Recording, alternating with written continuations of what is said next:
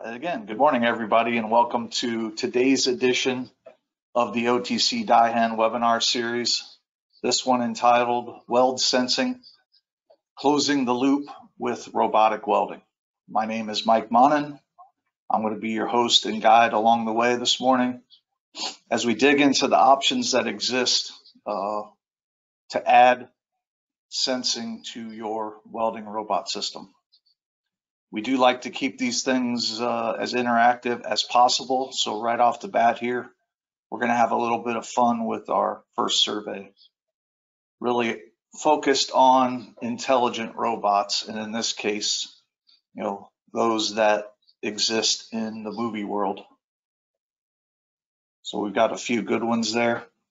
Hopefully some of you old folks like myself will recognize Short Circuit I don't know that Steve Guttenberg is in many movies anymore, but nonetheless, that's one of the choices. Of course, my favorite being Star Wars, but let's get those votes in and see what your guys' favorites are. And let's take a look at those results.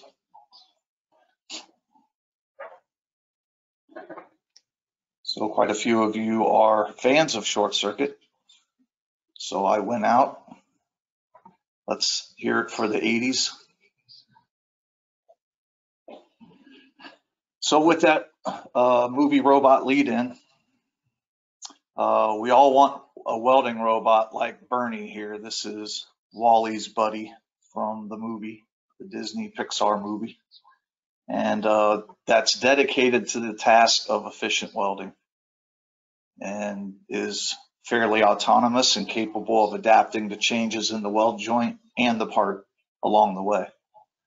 Uh, but in fact, BURN-E, WALL-E, and the rest of those movie robots are, well, fictional. So today we're going to lay out the facts uh, when it comes to options for uh, sensing with your robotic welder. And there will be more survey questions along the way, uh, giving you the opportunity to interact uh, with us here at DAIHEN and the rest of the audience. So I do encourage uh, those uh, interactions as well as we'll have a question and answer session uh, at the end of the session today and a final survey when we wrap up. So everything we're going to cover here also will be recorded and made available for you to review. So everybody strap in and let's get going. So right off the bat, uh, what is weld sensing, right? And this, like those movie robots, are uh, robots with the ability to both touch and see what's going on in the working environment. More importantly, focused around the weld joint itself. Uh, very often that means automatic compensation by making adjustments to the taut positions to keep the welding wire into the root of the joint. And if and when the joint moves, the robot needs to move to match so that the wire is always aligned with the root of the joint. And if you can keep the wire in the optimal joint position, all of you that know our Welbee product know that you're going to get very good weld results if you can keep the wire where it belongs. And the whole idea with this technology is to reduce and eliminate, uh, you know, downtime due to, you know, uh, the weld process acting up when you can't maintain position. So, so why don't we just apply this technology to every welding robot? Well, that's probably something that happens in the future as these things get more intelligent, computing power improves, uh, we learn all about these technologies that can learn from their previous mistakes. So, but there are many reasons why you don't put this on every welding robot. And those reasons are spelled out here. We will address those along the way from, you know, the core of all of this stuff, which is justification and cost down through the impact on cycle time and maybe even limitations uh, to what can be provided because of the geometry or access to the joint. And with that, let's move into our next poll question. Uh, and this one is for all you folks that are doing robotic welding out there, what about your application requires compensation? And there's a number of options there from, you know, finding the part initially, uh, all the way through being able to measure the joint and look at gap within the joint and maybe even compensate for that gap within the joint within the welding process. So really interested in what you guys see as the challenges out there that this technology could assist with. So let's take a look at those results. And far and away, it is the joint uh, feature and variance part to part. So this is common, right? Even though we live in a world where we've got plasma and laser cut parts that are going through, you know, CNC press brakes, giving us very precision components, there still is variation in material that leads to variation in joint fit up. So we all need something that helps us compensate for that. And we'll talk about these really four key technologies that are available for sensing the weld joint. And let's take a quick look at what we're talking about here. So we have everything from the low cost touch sensing on the left to what I would consider higher end laser camera seam tracking on the right. Of course, we can see the cost variation there, as well as some of the advantages, including what works on aluminum and what doesn't, what is easy to maintain and what requires more of a skilled trades technician. Um, and then the disadvantages uh, being in some cases impact to cycle time, uh, cost, maybe reduced access to the joint. We're going to come back and take a look at this at the end of the session today, but I wanted to put this up there right off the bat uh, so we can begin to get a sense for what the impact is with each of these technologies. So just to give everybody a bit of a primer on weld sensing, uh, there's a variety of uh, solutions that this technology provides from simple position detection before you weld, so going out and seeing or feeling the part to see where it's shifted to part to part, through what most people consider the holy grail of weld sensing, which is seam tracking. So as you're welding, constantly being in a mode where you're looking ahead on the joint and seeing what's coming so that you can be constantly adjusting. And then something that you'll see we have capability with with a couple of uh, these technologies, and that is actually measuring the geometry of the joint itself.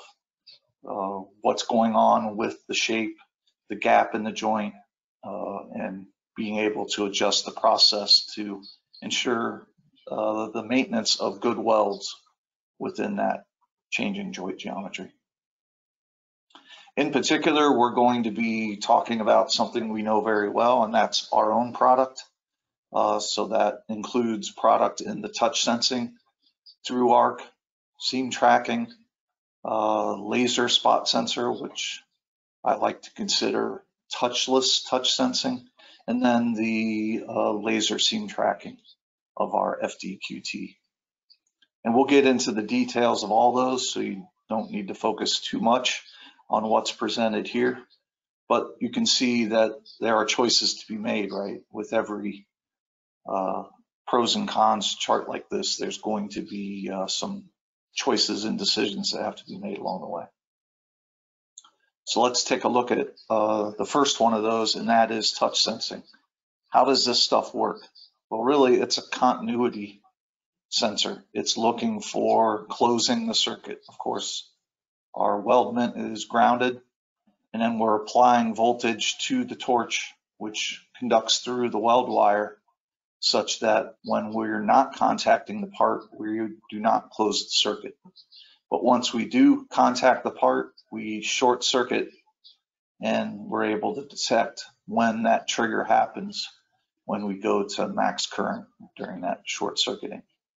So in essence, we can tell the robot controller when we've touched something through this technique. Um, let's take a look at the two versions of touch sensing we have. We have a low voltage version, which operates off of 50 volts DC, and a high voltage version, which operates off of 400 volts AC.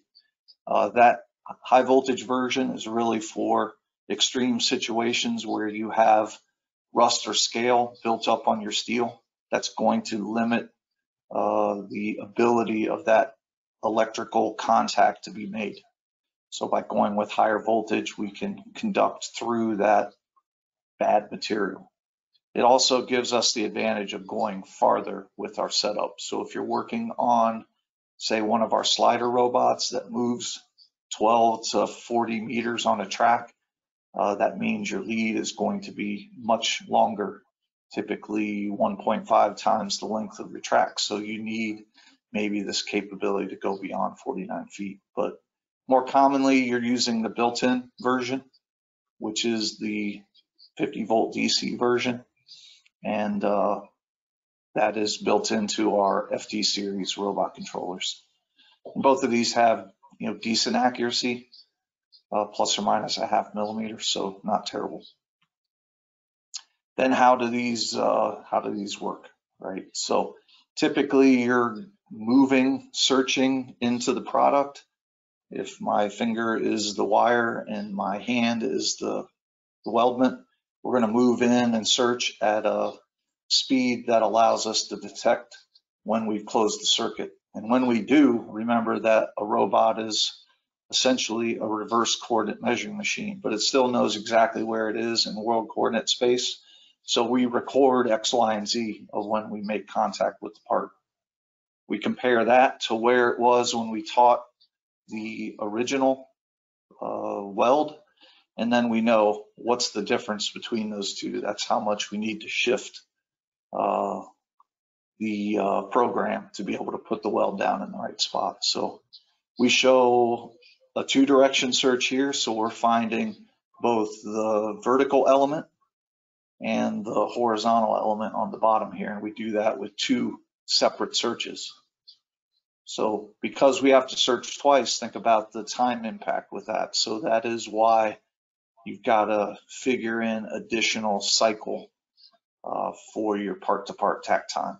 So this does take longer because every surface you go to find is going to take more time to search. So, and with that, let's get into our third poll here. What do you feel is the biggest advantage of touch sensing?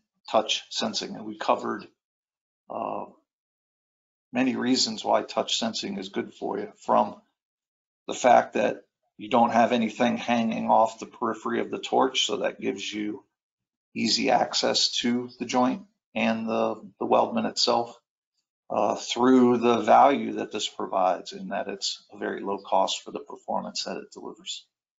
Let's take a look at what you guys think.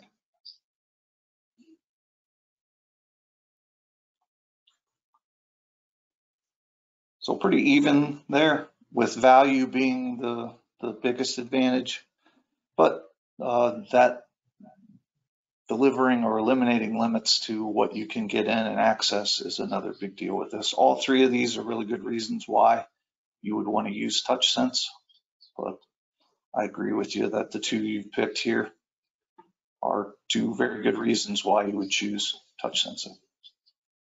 So let's move along and look at our next technology, which is through arc seam tracking.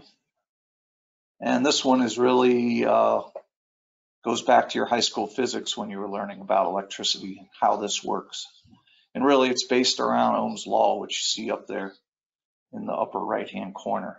So we know that as resistance changes, uh, current also changes in an inverse amount. So as resistance goes down, current goes up and vice versa.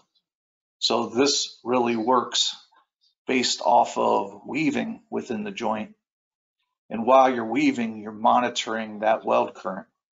So the side-to-side weaving motion through a fillet weld. As you get close to the weldment, your uh, resistance is going to drop because you're closer to the work. And as resistance drops, current goes up.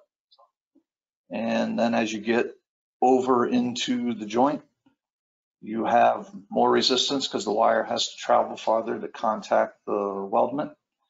And with that increased resistance, current is going to drop. So as we monitor current through that weave, we can tell pretty precisely where the joint is centered and allows us to make corrections to stay centered within the joint.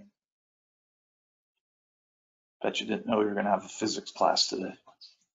Um, so what is what weldments are supported? Well, one of the obviously straight lines are pretty easy. They do need to be 50 millimeters or more because it takes uh, two weaving cycles for uh, this technology to snap on to the weld. It needs that much information to get started.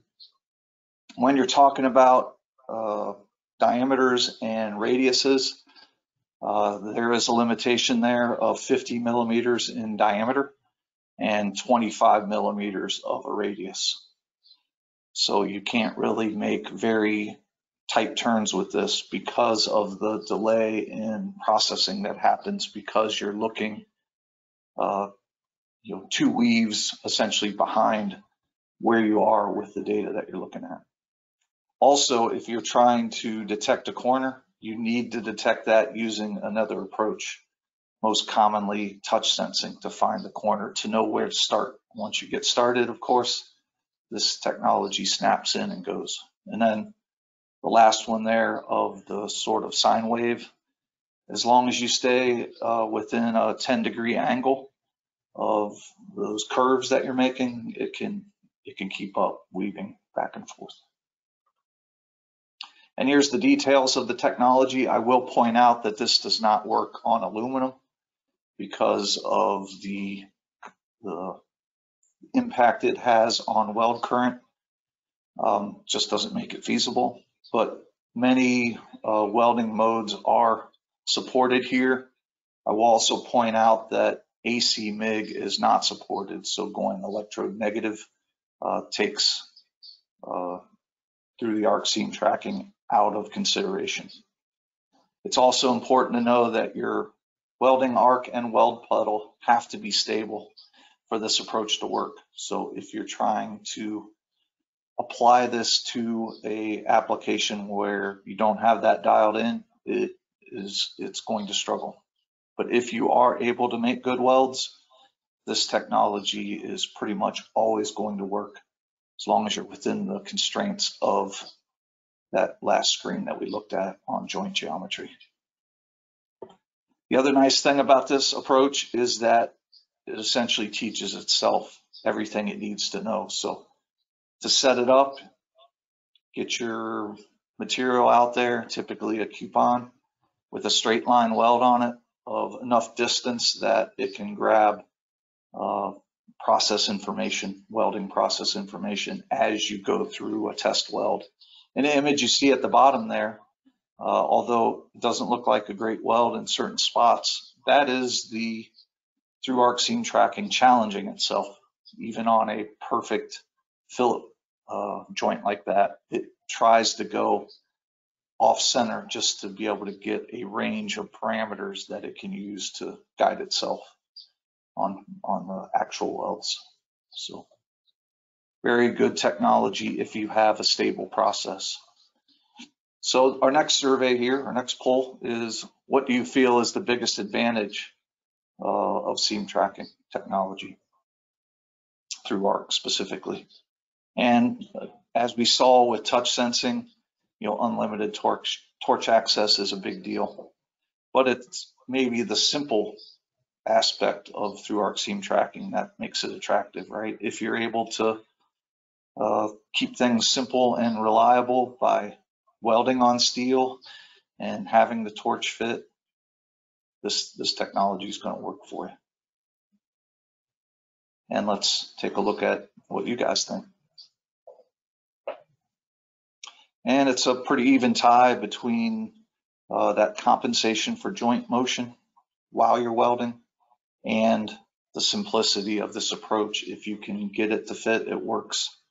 Um, certainly, this is the first technology we've looked at that can compensate while you're welding. So when we looked at touch sensing, that's all sort of touching the part before you even begin to weld. With this, it is intended to correct itself as the part potentially changes.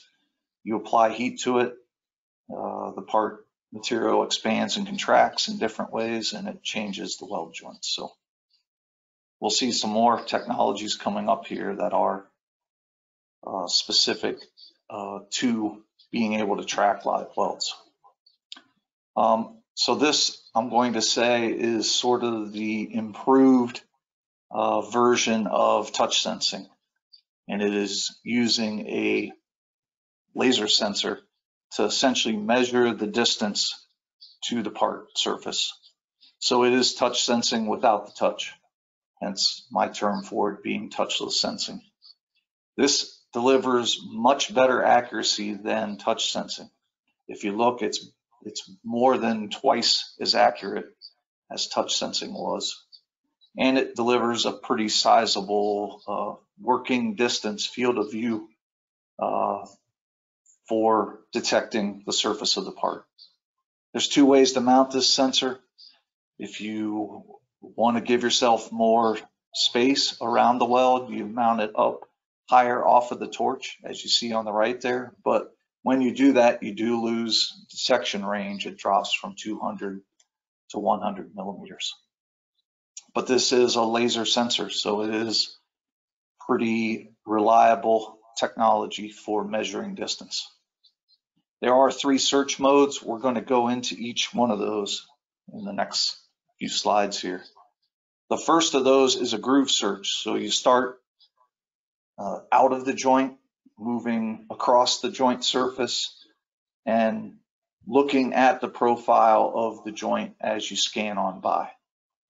And you can see in the graph here what the joint looks like right on the screen of the teach pendant so you don't have to pull up any other device to see what's going on with this sensing technology. It's going to convert that profile data into joint feature locations. And you can see on the right hand side the type of joint geometries that it can detect. Every one of those red dots you see is a point that you can select that will feed back to the welding process. So you can use that particular feature location to drive your uh, corrected weld path. And this is the poor man's seam finder. Now I say finder versus tracker. Finder is really going out and finding it before you weld. Tracking is actually finding the seam while you're welding. That's the difference between those two pieces of terminology there. The next approach is a one direction search. And this is really uh, moving down toward a surface, very much like touch sensing. When you achieve the reference distance, it records the location of the robot. So as you're searching down, much like touch sensing, but instead of contacting the part here, you can do that without coming into contact. So when you're doing this way, one search gives you one point XYZ, two searches, you know, say vertically and horizontally gives you two points, X, Y, and Z, that creates a line. And if you can do three searches, you can define a plane. And you'll see how that factors in when we talk about pattern search next. But this mode is really, like I described it, touch sensing without touching the part. And then the final search here is for fillet lap and uh, butt joints, but these are canned search routines that use either four points, five points, or three points, depending on the uh, type of weld you're talking about. Let's use uh, this uh, butt joint here as an example. So first and foremost, we come down on the part here, that's search number one. once we found the surface of that upper piece, we scan from left to right to find this vertical edge right here. We can continue off the upper piece uh, here to go down onto the lower piece. And then that gives us our fifth point. Then we return back to find the edge of the upper piece. And that gives us X marks the spot here. So five total points delivers uh, the joint off of that lap. So very easy to use and the fact that these are all built in and these all use combinations of those one direction and groove searches that we talked about earlier.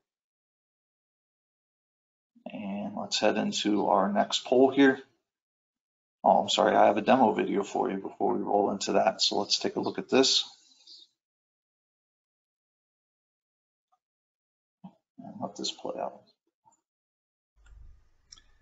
This is a demonstration of our touchless contact sensing with the FDQD product.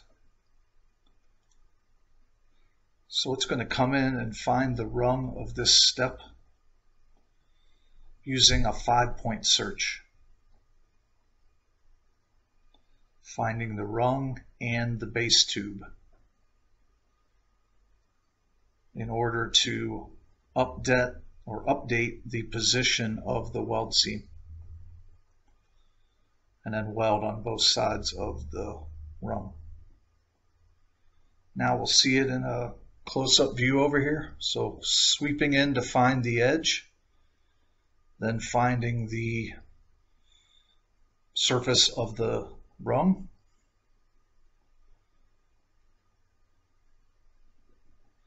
And then the surface of the base frame. In all five points that it's finding, to offset and rotate the weld joint and then to weld both sides.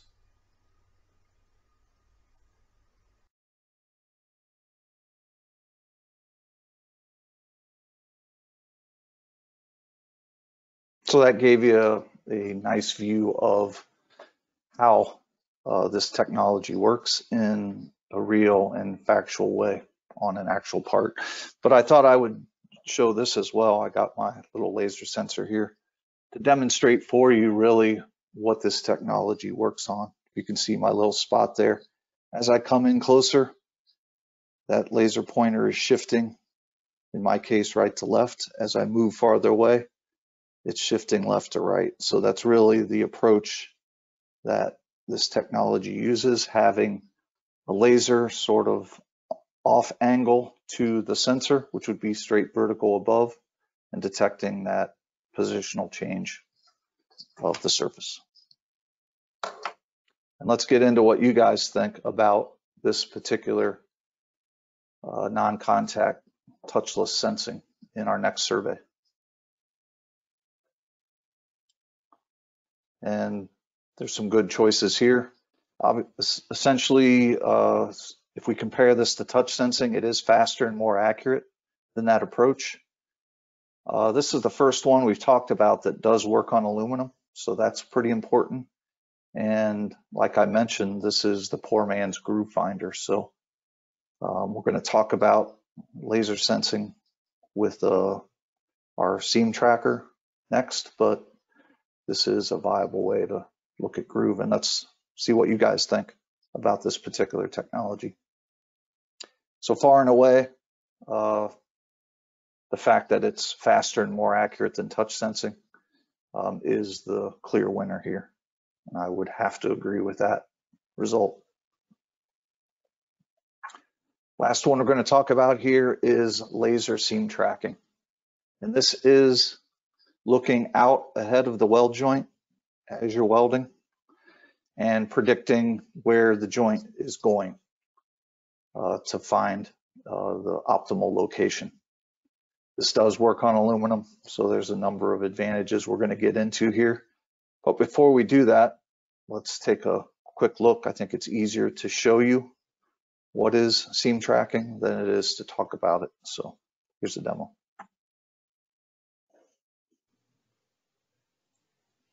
So here we see our FDQT product.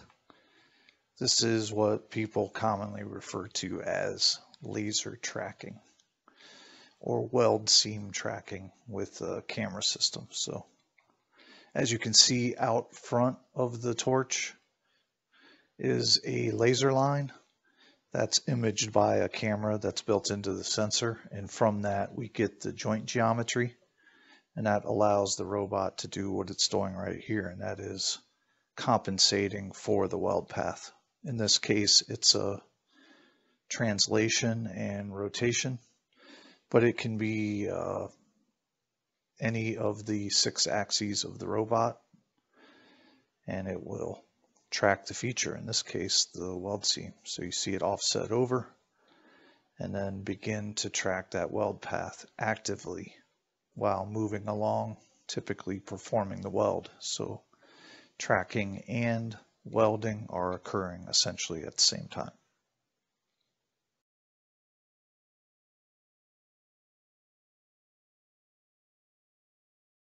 So there you got a good look at what seam tracking is, and that was our FDQT laser sensor.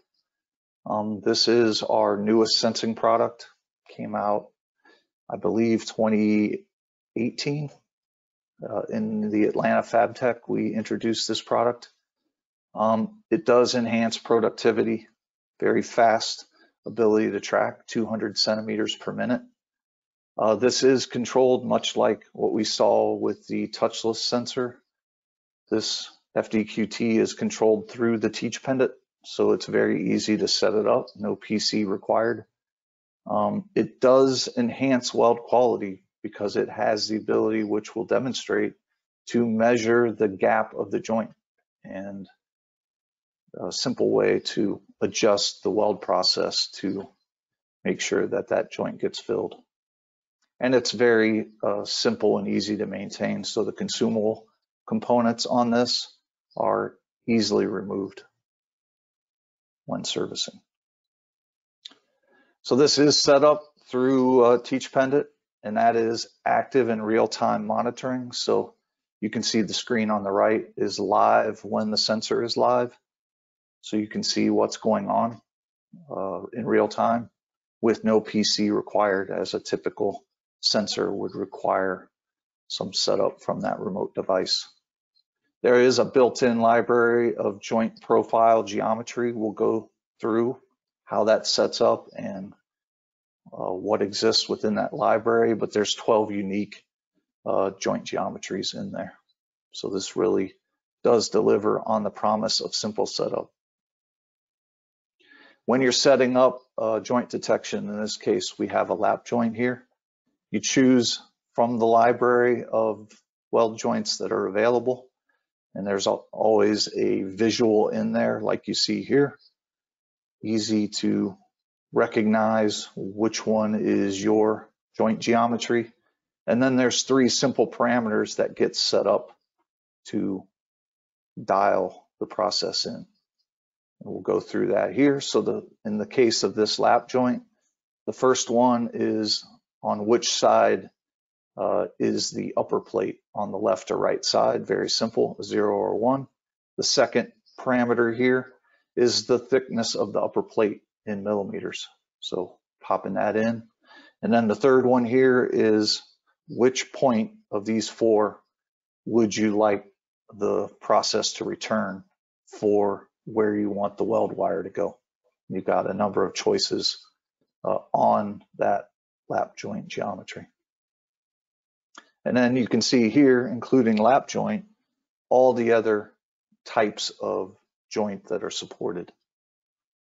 There's 12 in total. I'll jump to the next screen as well. You can see that.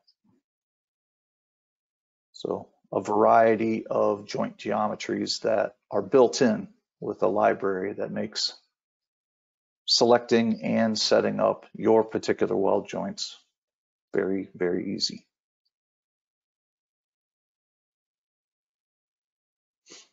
Uh, this sensor also includes intelligent technology. So as the welding joint and its gap are vary and they can be detected by this sensor, uh, and based on those measurements, adjust the welding conditions. So here's an example uh, where we run different welding conditions depending on the varying thickness of the joint, including if we go beyond two millimeters of gap, that we actually air out the system and alert the operator that there was a problem with the part being out of tolerance.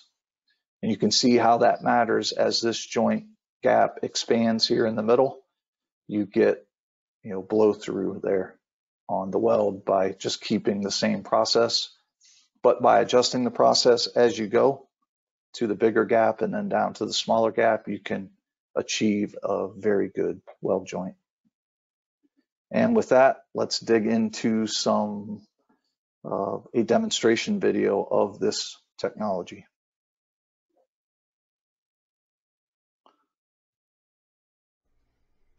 And here we have a demonstration of that intelligent technology, the ability of our system to take feedback from the sensor and apply it to what is a varying gap in the weld joint. On the right, you're going to see here really open loop welding. So this is conventional spray arc, uh, short circuit um, without any kind of feedback whatsoever, not using the sensor, not using our advanced technology. Second thing you see here is our synchrofeed technology. So this is our low spatter and gap filling technology, which uses a modified short arc, but delivers a very clean weld and covers that gap quite handily. Now we're going to make a gap on an even larger part. So exaggerate the scenario here, the situation, and let the FDQT sensor do its job um, and adapt to that varying gap along the way.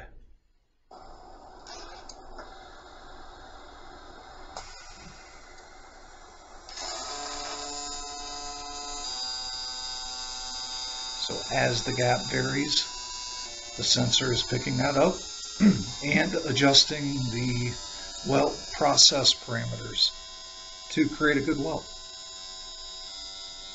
So into the largest part of the gap and then out of it again to where you've got a good fitting lap weld.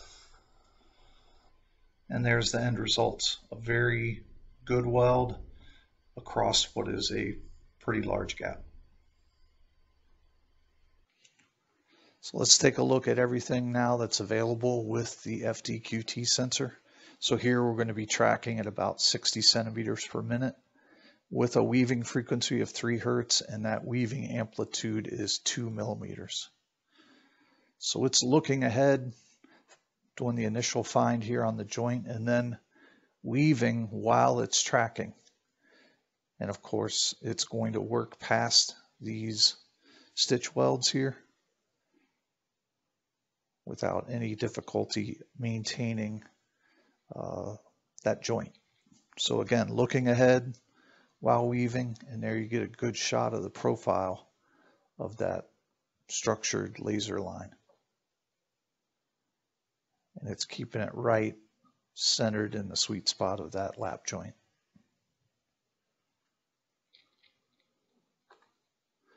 Next approach here is maintaining torch angle. So here we see it tracking, actively tracking the weld joint.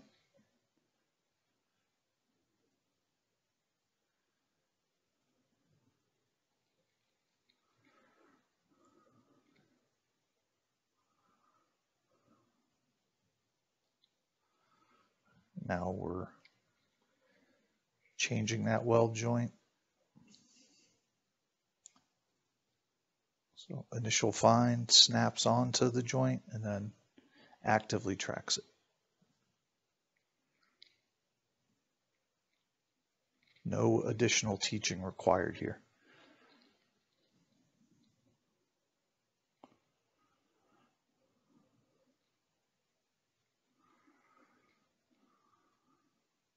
Now we're adding an angle to the material And the goal is to rotate the joint to remain tangent to the surface.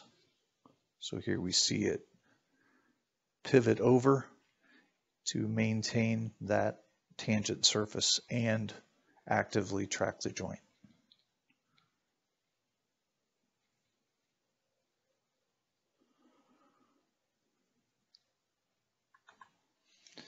Now we're going to look at that same uh, torch angle control as it works through three different angles here. And it quickly adjusts again to remain tangent to the surface of the part.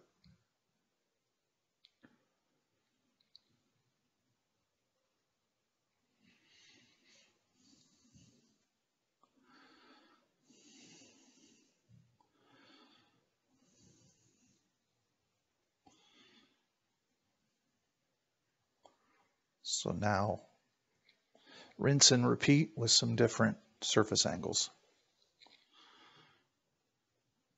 Again, actively tracking while maintaining a tangent torch angle and making the adjustments necessary automatically.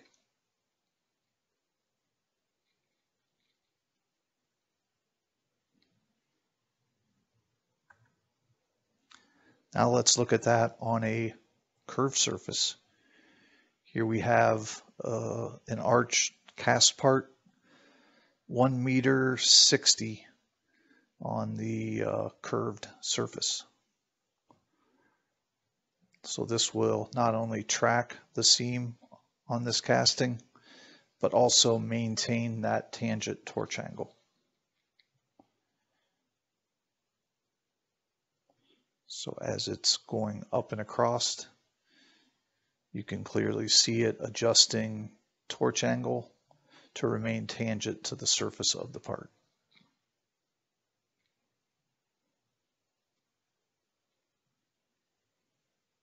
Aiming right down the center of that casting.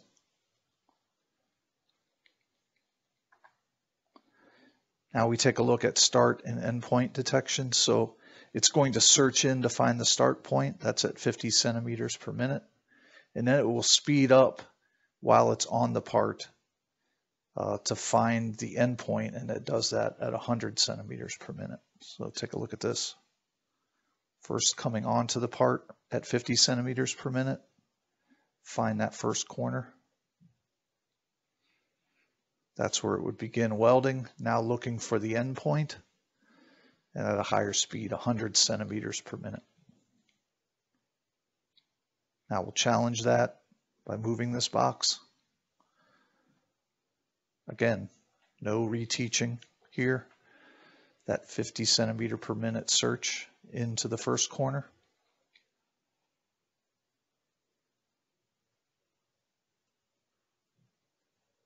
Once it's found that, it will now speed through the part at 100 centimeters per minute to find the end corner. All right. And we're back uh, with our final survey here. Um, what do you feel is the biggest advantage of laser seam tracking? Got three key choices here. This is the fastest sensing solution that we offer and it includes that active compensation for your targets that move.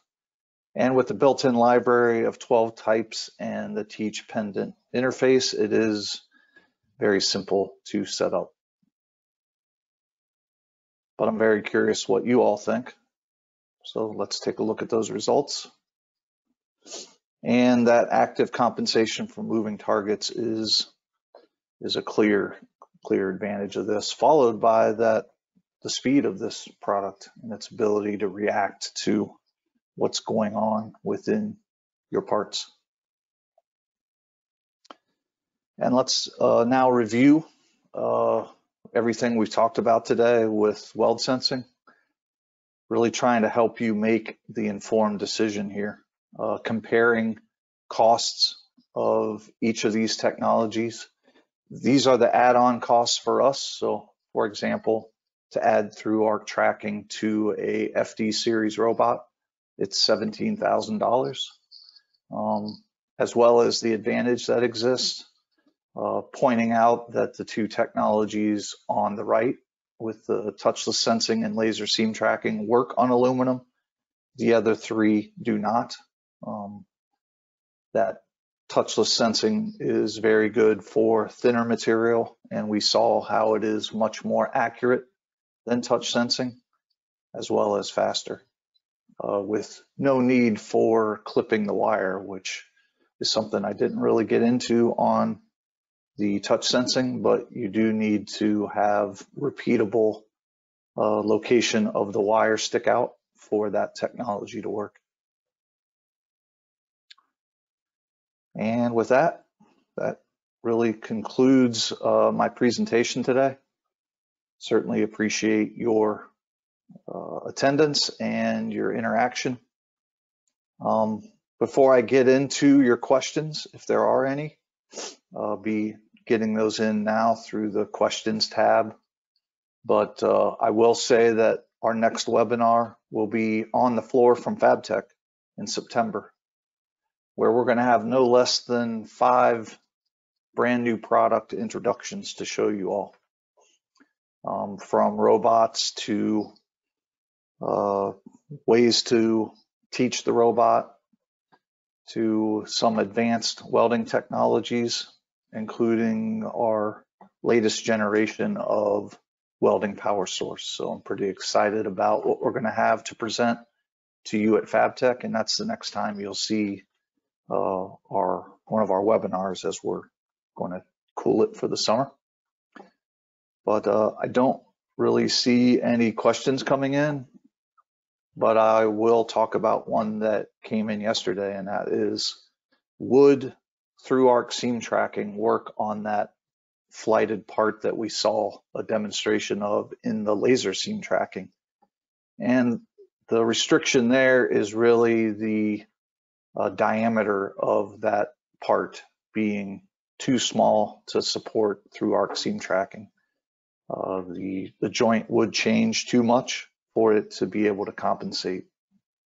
So the, the diameter of, of the curve of that part is the one that would not allow it. So, and I got one more question just popped in here. Can the FDQT work on TIG filler configuration robot? It really is only built for MIG welding. We do have another product which I didn't bring into today's presentation for TIG applications, um, but it's more of a uh, through arc type of process where it's looking at the weld parameters, uh, the weld current and voltage results as you're TIG welding to keep you uh, within the joint. So thank you for that question. And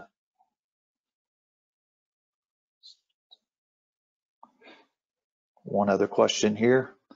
Uh, if we use a two-way external axis positioner, uh, is it supported or not? And uh, all of these technologies work with auxiliary axes uh, through our synchromotion uh, approach. Um, everything that moves within the robot work cell that's controlled by the FD controller uh, is monitored by the same controller that's doing the sensing. So yes, you can combine those technologies. Uh, I think you saw in the in the flighted part, we were actually using a uh, headstock to rotate that part to keep the weld joint uh, vertical down. So yes, absolutely, you can combine those technologies. And with that, that's all the questions. So remember, either I'll see you physically at FabTech or I'll see you virtually in our next, uh, in the webinar series, which will happen uh, at the FabTech show in September. So thank you for joining us and have a good day.